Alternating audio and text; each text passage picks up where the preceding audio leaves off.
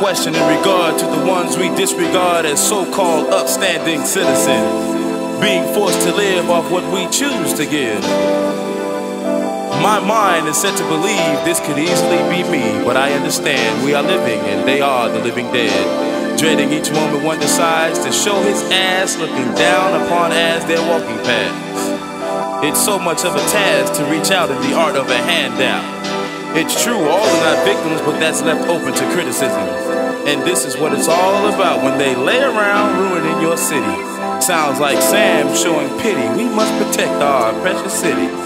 You know, I don't give a damn about Uncle Sam or his children.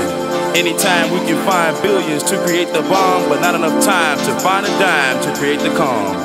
A subway station was not the creation by God intended for us to live in. But society won't seem to budge in the realization of the question who are we to judge?